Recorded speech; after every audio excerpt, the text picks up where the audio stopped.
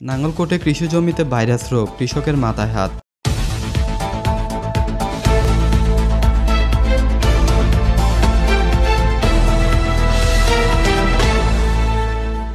আসসালামু আলাইকুম। এতক্ষণ শুনছেন সংবাদ শিরোনাম। এবার বিস্তারিত দেখুন মোহাম্মদ ওমর ফারুকের পাঠানো তথ্যচিত্র নিয়ে ডেস্ক রিপোর্ট এনএসটিভি সংবাদ। কুমিল্লার নাঙ্গলকোট উপজেলার মৌকরা ইউপির তহইয়া গ্রামে কৃষিজমি ন্যাক বাস্ট রোগে আক্রান্ত হয়েছে। কয়েক শতক জমির আমন ধান নষ্ট হয়ে গেছে। এতে করে কৃষকের মাথায় হাত পড়েছে। বর্তমান সরকার কৃষিবান্ধব সরকার। কৃষকদের সমস্যা সমাধান ও পরামর্শ দেওয়ার জন্য ইউনিয়ন উপসহকারী কৃষি সম্প্রসারণ কৃষি কর্মকর্তা থাকলেও কৃষকরা কখনো ওই কর্মকর্তাকে দেখেন নাই বলে তারা দাবি করেছেন। কৃষি অফিস ব্লক অনুসমে আইয়ে ন চাই ন। আমরা চোখও দেখি না।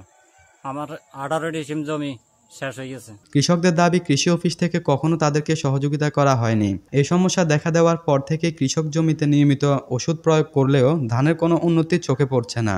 একই রোগে আক্রান্ত হচ্ছে অন্য জমির ধান গাছগুলো ধান গাছের এই রোগের নাম নেকবাস। কোথাও কোথাও এই রোগটির পাশাপাশি ব্যাকটেরিয়াল লিফ বাইট নাঙ্গলকোট উপজেলা কৃষি সম্প্রসারণ কার্যালয়ের তথ্যানুযায়ী এই পর্যন্ত পঞ্চাশ হেক্টর জমির ধান গাছ এ দুটো রোগে আক্রান্ত হয়েছে।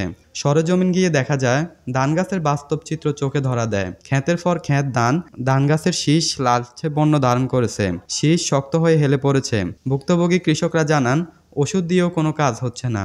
অনেক কৃষক এই রোগটির হাত থেকে ধানকে বাঁচাতে সতর্কতা হিসেবে ওষুধ প্রয়োগ করছেন, কিন্তু কোনোভাবে খেতে ফসল ভালো করতে পারছেন না তারা।